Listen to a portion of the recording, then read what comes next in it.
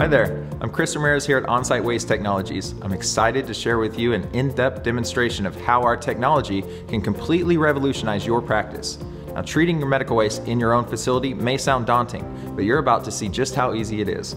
Our solution enhances your current workflow, and it all starts with a collection container. We rethought what a collection container could be, and it comes with a modern new look. These sleek tin containers are not only designed to treat medical waste in your facility, but also to fit right into your existing processes. You'll notice a sticker indicating biohazardous waste, as well as a fill window on the side. These containers come with different lid options, so you can customize your containers to fit your needs. Use these containers just as you would use your sharps or red bag containers today. Simply place your needles or red bag waste in the top until you can see that it is full and ready for disposal. Once full, grab one of Onsite's locking lids and secure it on top.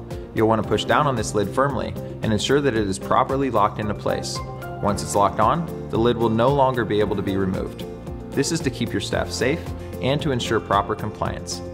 Your medical waste is now ready for treatment, and it's actually as simple as pushing two buttons.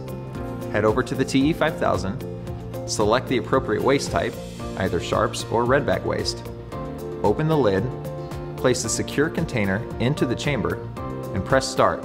That's it! It will take approximately three hours for a cycle to be completed, for added convenience, we've developed a delayed start feature, which enables the device to recognize untreated medical waste in the chamber and to automatically run a cycle overnight. When the cycle is complete, the device will beep and the lid will unlock.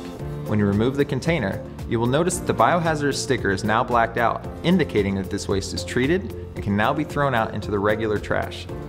And that's really it. Simple, safe, and compliant. Just to give you a glimpse of what your medical waste turns into, this brick of plastic is the result of a full cycle completed in our TE5000 processing unit.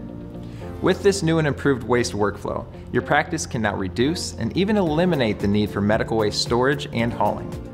Thank you for taking the time to learn more about this revolutionary system. If you have any questions or are interested in learning more, myself and our entire team here at Onsite are here to support you. So please don't hesitate to reach out.